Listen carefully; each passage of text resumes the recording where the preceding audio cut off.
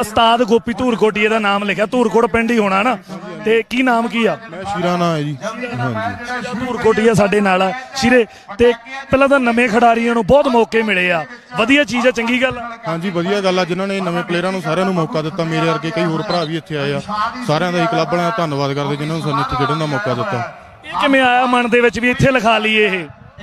ਬਾਈ ਯਾਨੀ ਕਿ ਵੀ ਮੈਂ ਪਿਓ ਤੋਂ ਆਪਦੇ ਵੱਧ ਕਰਦਾ ਪਿਓ ਤੋਂ। ਯਾਨੀ ਕਿ ਮੈਨੂੰ ਉਹਨੇ ਪੁੱਤਾਂ ਵਾਂਗੂ ਰੱਖਿਆ ਮੇਰੇ ਉਸਤਾਦ ਨੇ ਜਿੰਨਾ ਵੀ ਕੀਤਾ ਹੈਗਾ ਮੈਂ ਦੇ ਨਹੀਂ ਦੇ ਸਕਦਾ ਕਦੇ।